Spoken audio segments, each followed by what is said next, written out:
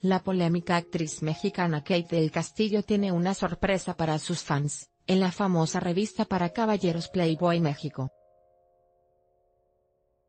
Playboy, la revista fundada por Hugh Hefner en 1953, y que entre sus páginas ha albergado a algunas de las mujeres más hermosas del mundo, como Marilyn Monroe, Naomi Campbell y Cindy Crawford, presentará en su nueva edición a la actriz mexicana. A través de sus redes sociales la actriz, que actualmente se encuentra viviendo en Los Ángeles, California, publicó una fotografía agradeciendo a la revista para caballeros.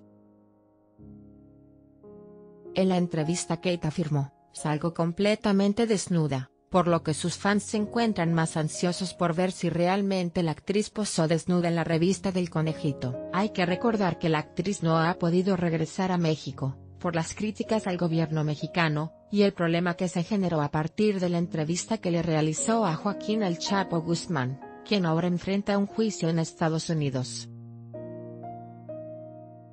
Ong. Kate el Castillo desnuda a la reina del sur en sesión de masaje.